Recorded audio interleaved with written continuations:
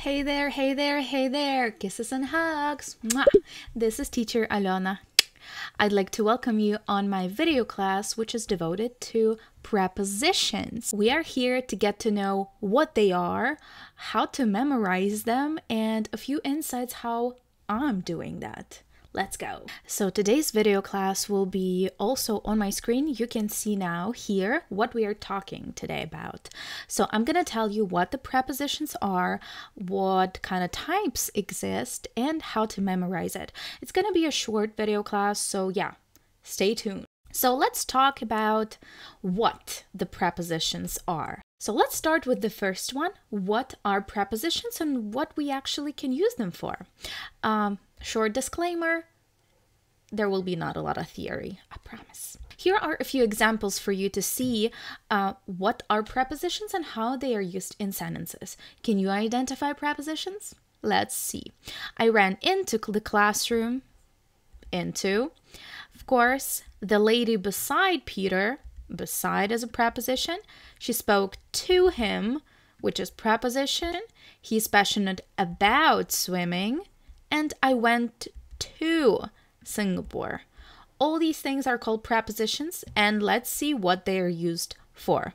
The function of a preposition is to demonstrate the relationship between two words in a sentence, normally between a noun, verb, or adjective, and a noun, including proper noun, pronoun, and gerund.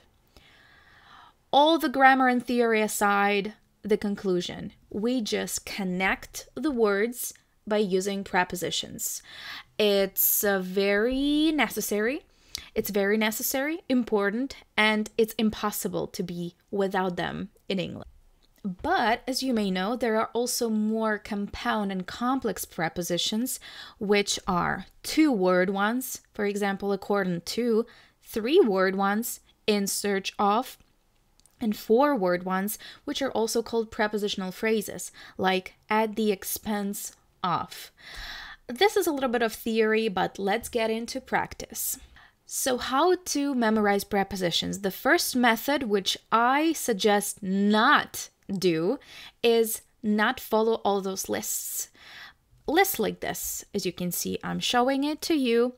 Uh, never ever has this kind of type of activity helped me to memorize anything phrasal verbs prepositions prepositions and etc any sort of vocabulary that's why it's better not to do it in many cases, in such lists, there are various types. They have nothing in common. That's why it's very complex for it to sit in your head. Yes to drills. Drills, these are continuous, relentless practicing activities that help you memorize everything there are a bunch of online quizzes which ask you to complete the sentence with the correct preposition, to choose the correct preposition, to write the correct preposition, but the main idea is to remember it in the context. We will get there. Chunks memorizing. This is what I'm speaking about. Uh, never ever mm, in methodology, in actually teaching, we suggest memorizing single words or single prepositions or single phrases uh, it doesn't work since we don't have the linkage to the actual content or situation that we are talking about. Um, it's better to actually memorize them uh, inside the sentences, inside the situation, something that you associate this preposition with. Flashcards. This is also a great thing. There is a website called Quizlet and Kahoot and many, many, many others where you can create flashcards yourself. Or if you are not a tech nerd, you know, as I am, you can use, you can print them out. You can make them without even a printer. You can actually take a piece of paper, write the verb, adverb, whatever, and the preposition, like on the other side. And then practice, train yourself. Of course, the more words, the more prepositions to uh, memorize, but try not to do it um, like 100 prepositions a day. No, it never works like this. Um, it's better to be more consistent, but for example, learn at least two or three a day. As for me, even one a day, but every day is better than 100 because you will definitely forget them. That's how our brain works. It's not about you, it's about just the structure of our brains. it tends to erase things it doesn't need or it doesn't want to memorize. You know what I mean? Next one, record yourself. Uh, super simple advice, but it actually works greatly. Once you found a prepositional phrase you like, uh, once you've written it down, try to record yourself. I always tell my students the next thing the grammar you've learned has to be spoken out because when you don't use it, you lose it. That's the thing. Yeah, the grammar has to be used by you, not by the teacher, not by your friend, not by but but you. Repeat. Yes. This is something no one likes actually, but it's incredibly necessary. Uh, once I was talking about interval repetition uh, on one of my videos, or if I'm not mistaken, on my Patreon account, but still, repetition is the key. We have to do this fitness for brain. Once we don't do it, we lose it. Treat language as fitness for brain. Once you stop training, you're gonna lose your shape. That's why Google interval repetition. This is basically the repetition which has to be done after a day, after three, after a week, then after a month. I think I remember correctly. If not, just Google. The last thing here on this list is something I usually do sort and note sentences.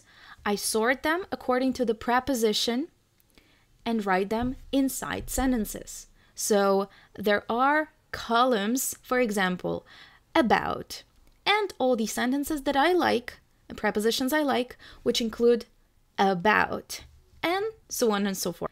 In case you are a visual learner, as I am, it helps me to recall visually, especially if it's colored or highlighted. Yeah, it works even better. It helps me recall where it is, what is written there. Yeah, and then I just repeat, voice it up, repeat, use it. Yeah. One of the things I also do, all my students and all my followers know because I think I post it like every time.